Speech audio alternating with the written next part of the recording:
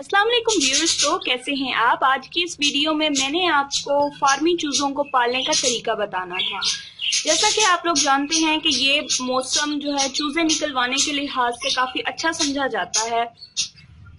काफ़ी मरतबा मैं आपको बता चुकी हूँ कि वो मौसम जिसमें ना ज़्यादा सर्दी होती है और ना ज़्यादा गर्मी, उसमें चूज़े काफ़ी ज़्यादा तादाद में निकलते हैं और सबसे अच्छी बात यह होती है कि वो चूजे पल भी जाते हैं। मतलब कि ना ज़्यादा बीमारियाँ अटैक करती हैं और ना ही वो कमज़ोरी या सर्दी या गर्मी की वजह से नहीं मरते। तो इस वीडियो में मैंने आपको ये चूजे भी दिखाने थे। दरअसल, ये मैंने चूजे किसी को देने के लिए खरीदे हैं। उसने स्पेशली मेरे से मंगवाए थे। तो मैंने सोचा कि मैं आप लोगों को भी ये चूजे दिखा दूँ।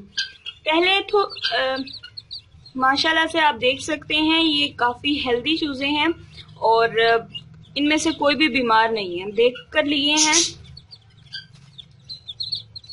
अब इनको जो है, मैं पानी, इसके अंदर मैंने पानी दिया था, ये पानी इन्होंने ख़त्म कर दी, इनको मैं और दे दूँगी पानी। और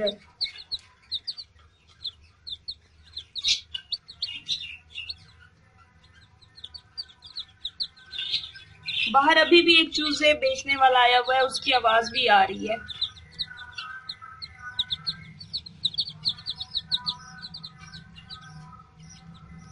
इनको मैंने यहाँ पे बाजरा दिया है। अगर आप भी ऐसे चूजे पालना चाहते हैं, मैं आपको पहले ये भी बता दूँ कि ये वाले जो चूजे होते हैं ज़्यादातर मुर्गे ही होते हैं। कोई खुशकिस्मत लोग होते हैं जिनके पास शायद एक दो मुर्गियाँ निकल आती हूँ, वरना ये ज़्यादातर मुर्गे ही होते हैं। अब इनको नाश्ते में मैं सुबह एक अंडा जो है बॉईल करके और साथ चने जो होते हैं, काबली चने, उनको भी मैंने उबाला और उन दोनों को ग्राइंड करके मिक्स करके मैं इनको देती हूँ। ठीक है? मेरे पास दो दिन हो गए हैं, ये आए हुए।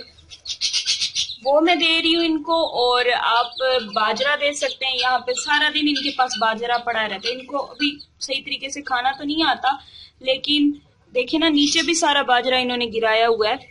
तो ये खाते रहते हैं। वो पिंजरा जो मैंने, चिड़ियों वाला था, उसी के अंदर ही मैंने इनको रखा हुआ है। और तीन चार दिन तक बस ये चले जाएँगे। ये चूजे इजीली पल जाते हैं और ये बीमार भी कम होते हैं, लेकिन सबसे बड़ा खतरा जो ये होता है कि आपने इनको बाहर जो परिंदे होते हैं, जैसे कि कव्वे हो गए और चील वगैरह होती हैं, ये इन चूजों को उठाकर ले जाती होती है तो उनसे अगर वो चूजे आपके बच जाएँ तो ये बीमार बहुत ही कम होते हैं, ठीक है? और ये बहुत आसानी से पल जाते हैं। अब ये देखें ना, ये इतने से चूजे हैं, और मैंने इनके लिए इतनी ज़्यादा जगह, सारी मैंने जगह इनके लिए रखी हुई है। और ये आराम से घूम रहे हैं अंदर।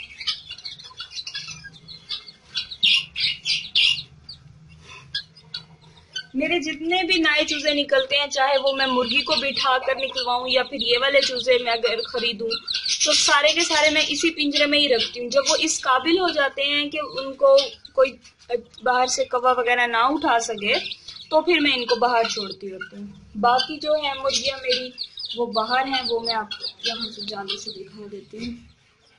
हम्म, देखें बाकी सारे बाहर हैं। और ऊपर भी मैं आपको दिखा दूँ। ऊपर मैंने चिड़िया रखी हुई है। चिड़िया भी मैं आपको दिखाती हूँ।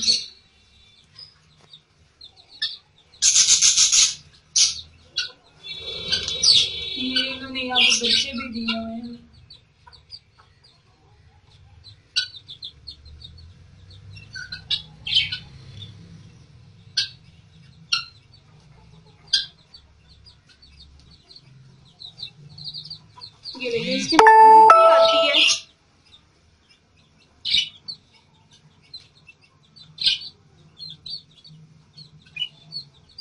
इनको बस ये होता है कि ज़्यादा सर्दी ना लगे। इनका टेम्परेचर जो है, आप थर्टी सेवन डिग्री रखें, ठीक है?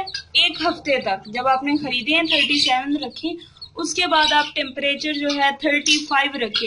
अब टेम्परेचर का कैसे पता चलेगा? आप हाइग्रोमीटर भी इस्तेमाल कर सकते हैं, वो जो इंक्यूबेटर के अंदर इस्तेमाल किया जाता है।